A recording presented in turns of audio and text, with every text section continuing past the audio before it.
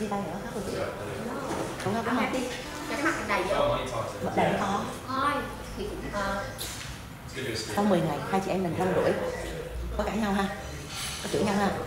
Có quýnh chửi như mấy ca chị ngồi chị nói kể, kể chuyện đó cái cái thời ờ, kêu kêu khắc quánh kêu mạnh thôi chứ không có. Lúc đó là Việt Nam đang đang kể chuyện đúng không? cái chuyện mình kêu mạnh xíu. Kêu muốn mình. Mình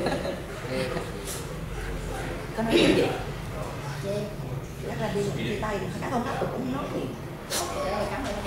Cứ một khoảng thời gian 10 ngày rất là vui cho em may phước bạn có đường bực không có. à còn bước gồm mày có hai Ờ, không bước gồm còn nên bây giờ tiếp tục hành trình. Ờ, Đừng nói đi nha, đừng nói đi ngon. thân đó hả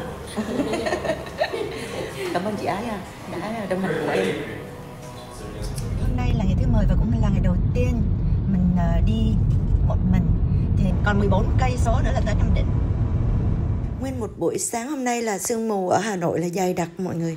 Mình ghé ăn phở gà nhưng mà ở đây không hợp khẩu vị. Ở trên đường mình đi có rất là nhiều nhà thờ đẹp tuyệt vời và đây là giáo giáo xứ Nam Phú thuộc ờ, giáo phận Bùi Chu. Đây mình không biết là cái đường này đi đâu nhưng mà cái đường chỉ đi vô trong đó cái nhà thờ âm xa. Mình thấy có một cái nhà thờ hơi xa xa á, nhưng mà thấy đường rừng đường ruộng không à mong là không phải là do cái cái tôm tôm của mình nó sai.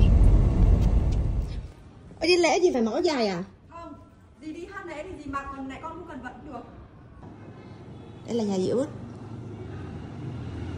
Ngày đầu tiên em Diệp chào đón mình với món rất bắc trước đây mẹ mình nấu uh, riêu với rau đay còn bây giờ là riêu với mồng tơi. Phải nói là ngon tuyệt vời. Cảm ơn em nhỏ ơi